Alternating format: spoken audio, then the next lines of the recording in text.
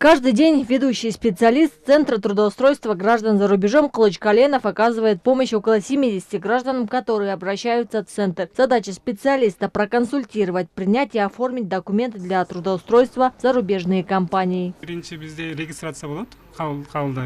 Сначала граждане проходят регистрацию, после чего зарубежные работодатели проводят с потенциальными кандидатами собеседование и заполняют анкету. После всех этих манипуляций с документами, если кандидатуру одобрят, то приходит приглашение на имя этого гражданина. Мы помогаем ему с вопросами получения визы и так далее последнее время особую заинтересованность среди граждан вызывают сезонные работы в Англии. Если в 2022 году в Туманный Альбион отправились на заработки около 1500 человек, то по итогам первого полугодия квота была увеличена до 8 тысяч. За отчетный период 2023 года через центры за рубежом трудоустроились более 11 тысяч человек. Наш центр оказывает нашим гражданам бесплатные услуги по трудоустройству и также нашим гражданам э, э, предоставляет достоверную информацию о зарубежных работодателях, либо о зарубежных работах. Наши граждане получают трудовой контракт, э, не выезжая из территории Кыргызской республики, получают трудовые контракты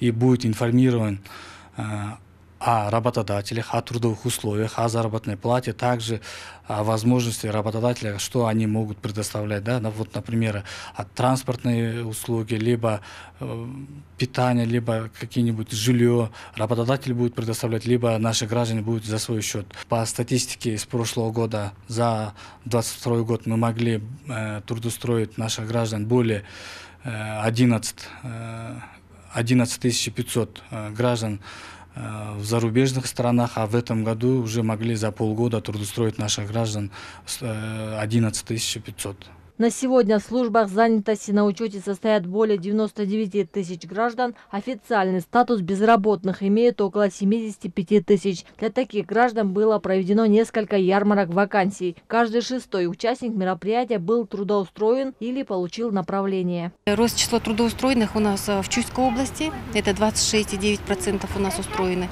Баткенская область 26,5%. Ожская область 17,6%. Таласская 16,8%.